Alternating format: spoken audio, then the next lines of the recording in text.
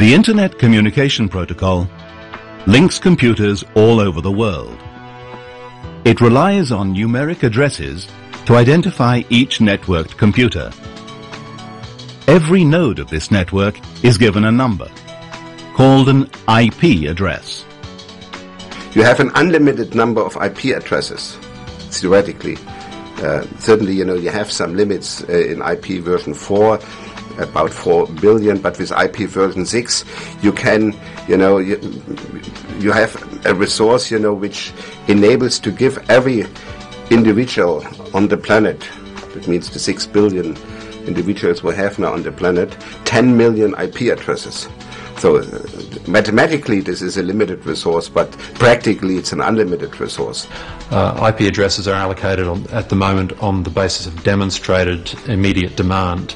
You have to have a system in place for the allocation of IP addresses, because you know if you want to start a business in the internet or uh, you have your private website, you know, you need an IP address and domain name. And so for IP addresses and domain names are crucial.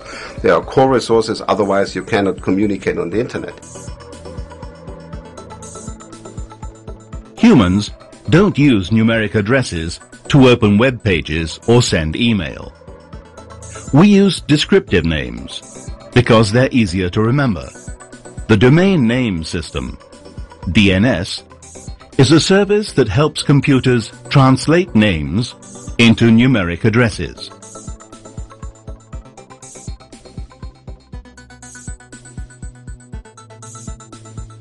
If you think of the internet as a uh, as a post office or a postal system, um, these functions are essentially ensuring that the addresses on the front of an envelope work. They're not about what you put in the envelope, who sends the envelope, who's allowed to read the envelope, um, how long it takes long, how long it takes the envelope to get there, what do you have a price for the envelope. None of those issues are important for that function. The function is focusing on just ensuring that the address works. When you type the name of a web page, such as www.google.com, your computer first has to ask a caching DNS server to translate the name into a numeric address. The caching DNS server is usually provided by your internet service provider the moment you connect to the internet. For frequently used names and addresses, your caching DNS server keeps data in the local memory and responds immediately.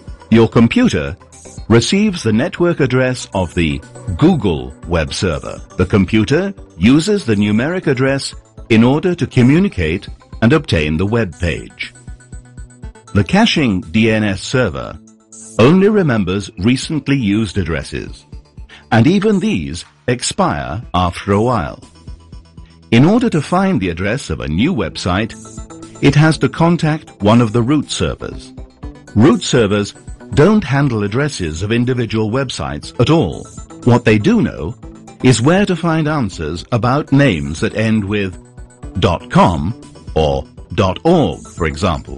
They refer requests to top-level domain name servers for each of these generic domains.